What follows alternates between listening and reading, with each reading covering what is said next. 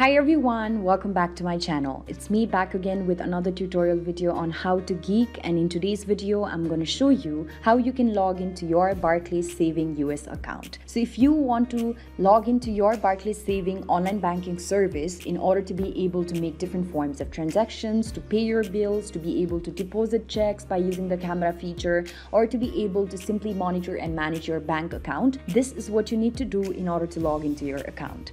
So for this, first of all, make sure that you've already downloaded the Barclays US Savings app on your mobile device. And after having done so, open up the app. As you open up the app, wait for the app to completely load. And after your app completely loads, you will land on an interface that will ask you to enter certain credentials in order to be able to log into your account.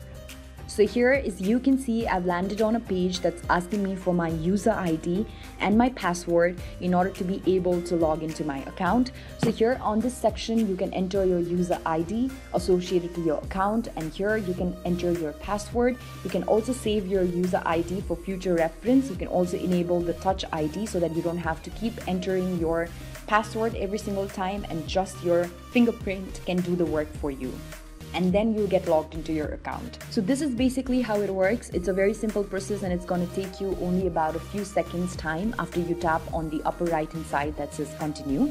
So I hope this video has guided you through the process and you found this helpful. If you found this useful, don't forget to give this video a thumbs up, share, subscribe to How to Geek and hit that bell notification so that you get reminded each time that we upload a new tutorial video. Thank you so much for watching you guys. I'll see you around next time.